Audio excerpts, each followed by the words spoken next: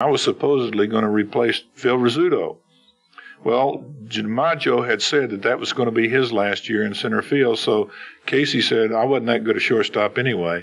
So Casey said, we'll make this kid a center fielder. 1956, you know, I had a great year. And uh, opening day that year, somebody had interviewed me before that game. Do you have any predictions for this year? And I said, I think I'm going to lead the league in home runs, batting average, and RBIs. And why I said that, I have no idea, but I did, and uh, I guess I was cocky that day. I really did feel good. The Dodgers has beaten us in uh, '55, and uh, we were all like out to prove that we could come back and be the world champions again.